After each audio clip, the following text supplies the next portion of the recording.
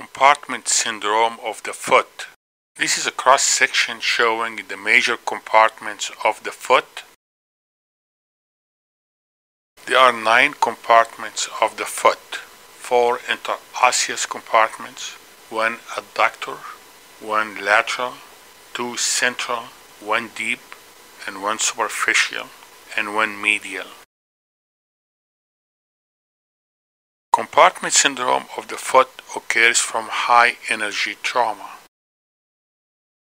Here there is an example of high energy trauma to the right foot. You can see the major swelling of the foot. Clinical presentation is swelling of the dorsum of the foot, tenderness of the foot,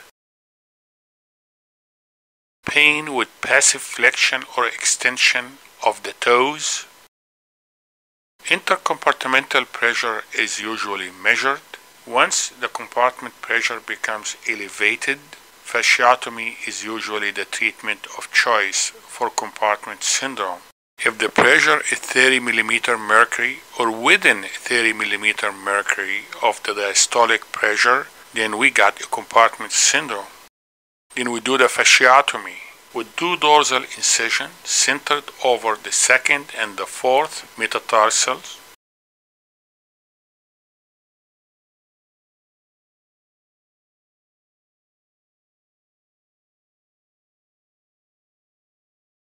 Here the incisions are marked and the dorsal incisions are done.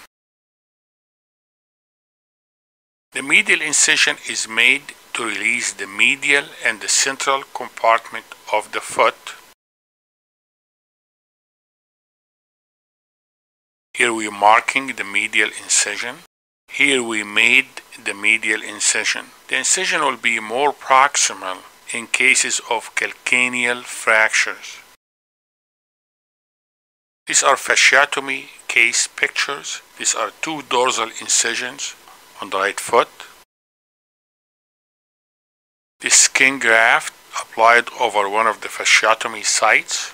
Here is an example of fasciotomy wounds. Skin graft of the fasciotomy wounds. Here is a patient with closure of the fasciotomy wounds.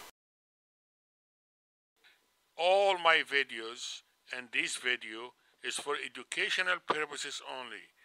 Please consult your doctor before you make any decision about your medical care.